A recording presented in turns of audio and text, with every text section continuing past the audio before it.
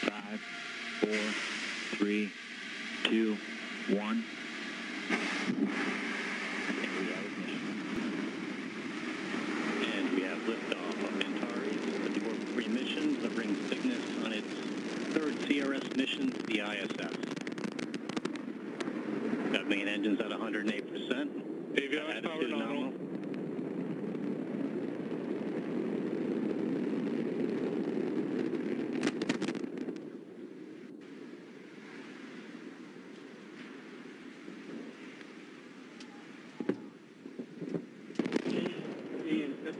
nominal. And launch team, launch team, be advised, stay at your consoles.